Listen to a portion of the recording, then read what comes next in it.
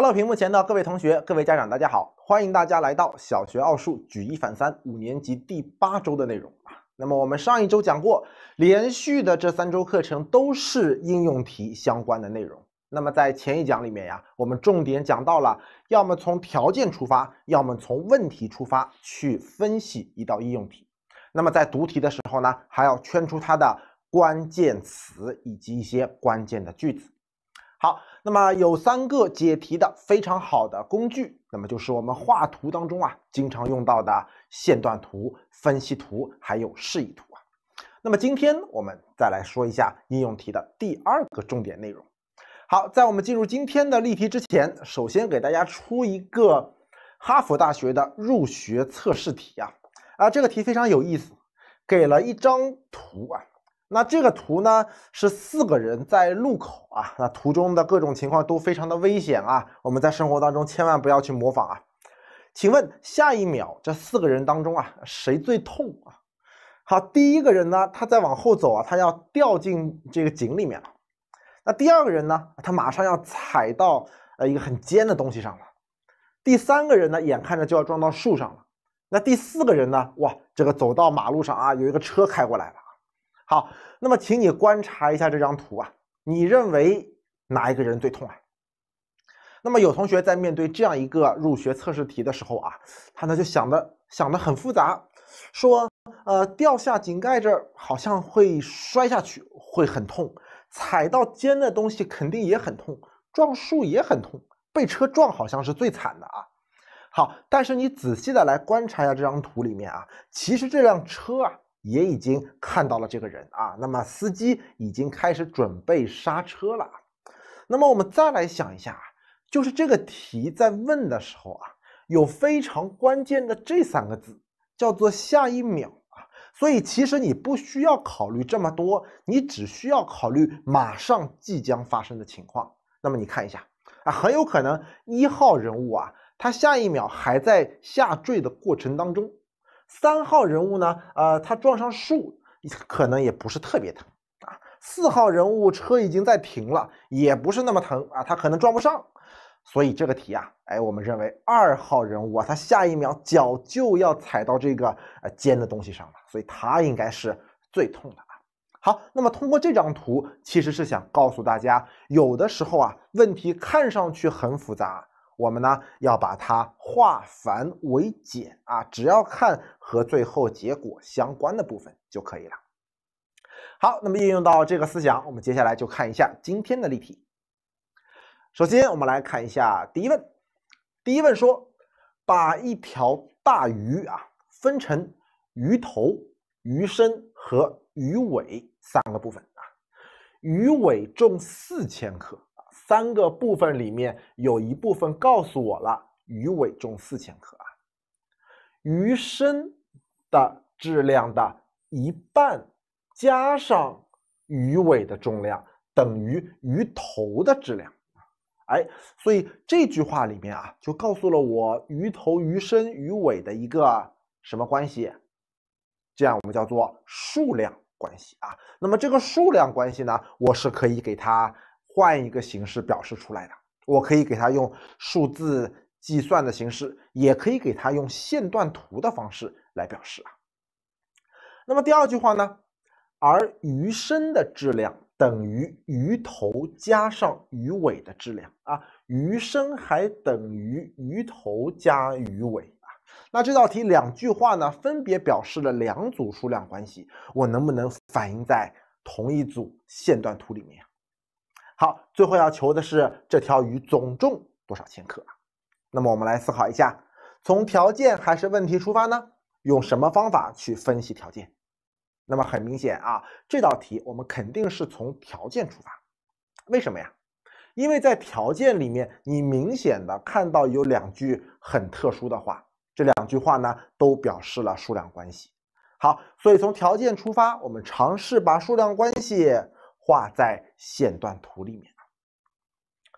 好，那我们首先来看一下第一个条件啊，他说鱼身质量的一半加上鱼尾的重量等于鱼头啊，看着很复杂，但实际其中的鱼尾已经告诉我了，鱼尾的重量那就是四千克嘛。那么怎么来画这个一半呢？所以这个地方我先画出鱼身的总重。如果这是鱼身的总重，然后我就可以标出它的一半了。这部分就是鱼身的一半啊，鱼身质量的一半加上四千克，好，四千克等于鱼头的质量。所以呢，第一部分的线段表示的是鱼头的重量，看到了吗？好，这里我们画一下，左右两部分相等。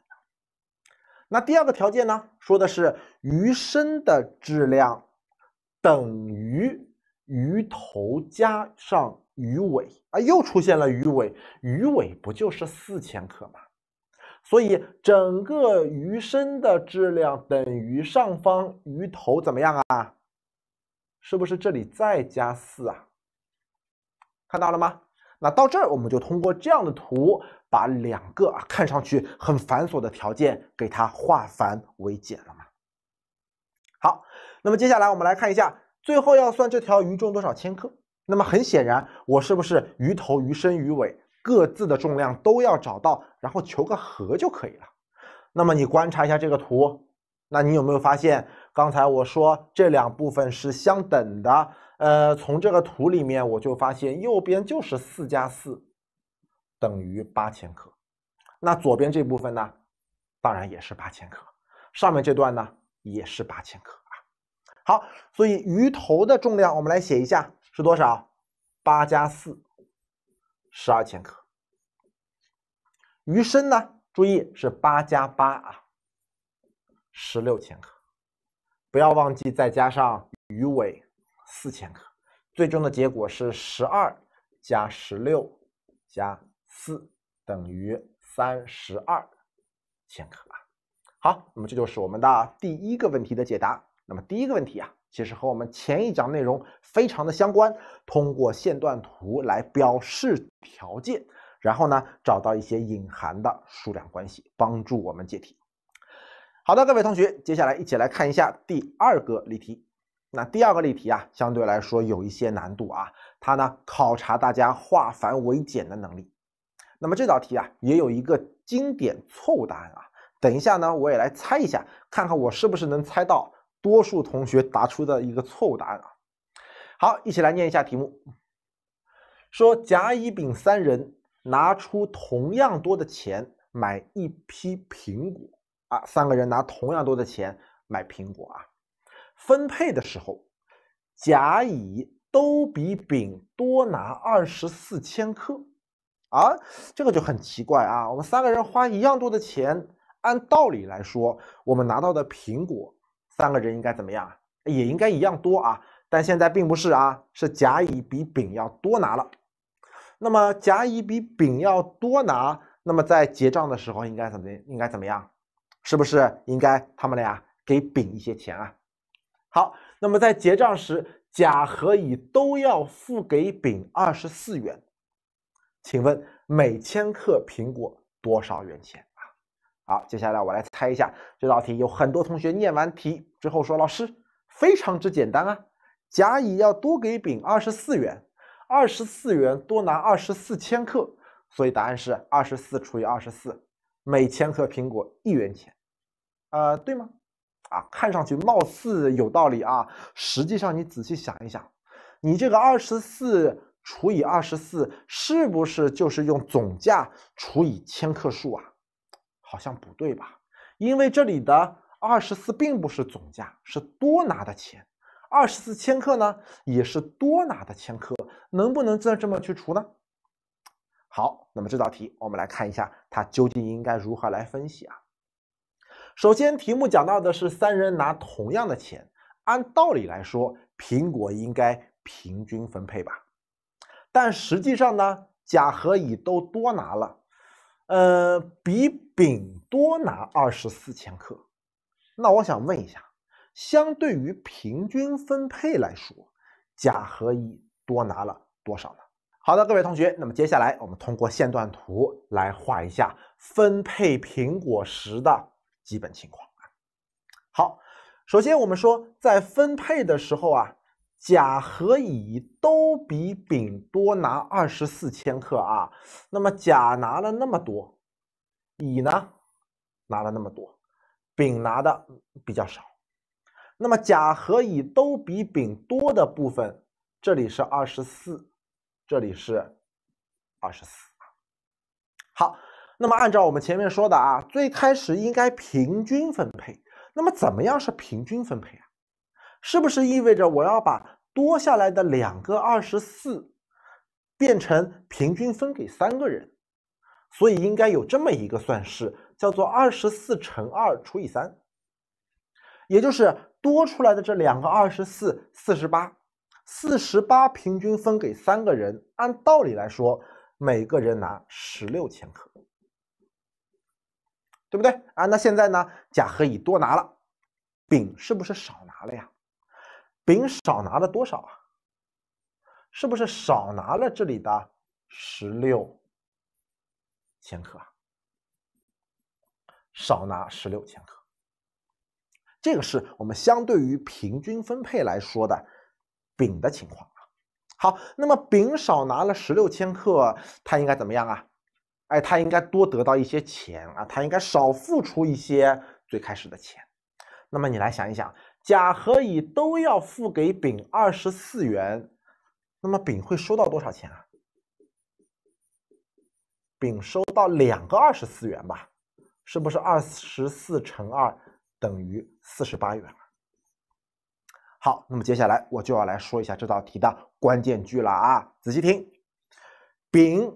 少拿了十六千克苹果，所以他要收到四十八元，明白了吧？说明这十六千克苹果的价值是四十八元，所以每千克苹果多少钱啊？四十八除以十六等于三元啊？好吧，这道题到这儿我们就做完了啊。好，那么这个题的关键点在哪里呢？啊，你有没有发现这道题是一个非常典型的？化繁为简的问题啊！我再去计算苹果每千克多少元的时候，我有没有去考虑甲和乙的情况啊？是不是没有啊？我只从一个人的情况入手，考虑他少拿了几千克，应该多得到多少钱？从谁入手啊？是不是从丙入手啊？大家明白了吗？好，我们到这来总结一下：只考虑丙少收的钱和他少拿的。苹果把复杂的问题简单化。好的，各位同学，接下来请你自己来尝试一下这个问题。我们呢改一下条件，看看你能否得到正确的结果。甲、乙、丙三人拿出同样多的钱买一批苹果，分配时注意，甲比乙、丙多拿二十四千克。结账时呢，甲给乙、丙各二十四元。请问每千克苹果多少钱？那么你来想一想，刚才那个题里面我们讨论的是丙，这道题应该从谁的角度来考虑啊？看一看哪个人比较特殊啊？刚才是甲乙比丙多，现在是甲比乙丙多。哎，有同学发现了啊？这道题甲是一个单独特殊的人啊。好，所以我们从甲的角度来考虑啊，甲比乙丙多拿二十四千克。三个人的分配情况是不是这样啊？这里是二十四千克，也就意味着，如果平均分的话，这二十四千克应该平均给三个人，每个人是八千克，没问题吧？好，那你想，当他平均分的时候呢，在这儿，甲只拿到这部分的八千克，而实际上甲比平均分。多拿了十六千克，那么我们来写一下啊，甲多拿十六千克，那么他必须怎么样啊？他必须啊多付一些钱嘛。那么他多拿十六千克，他要多付出多少钱呢？他给乙丙各二十四元，是不是他要付出两个二十四元啊？所以四十八元是他。多拿出的十六千克苹果的价格，四十八除以十六，哎，结果又是每千克苹果三元钱啊啊！所以这个问题呢，选 A，大家做对了吗？